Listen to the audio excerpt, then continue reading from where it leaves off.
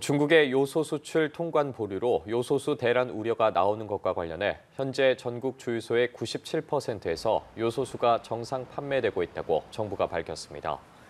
정부는 오늘 경제안보 핵심 품목 TF 총괄반 회의를 열고 주유소 요소수 판매량이 전주보다 감소세를 보이고 있다며 이같이 설명했습니다.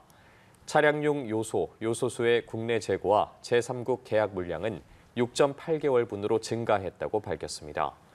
정부는 일시적으로 수급의 차질을 빚는 업체를 대상으로 공공 비축 물량인 차량용 요소 1,930톤을 다음 주부터 방출할 예정입니다.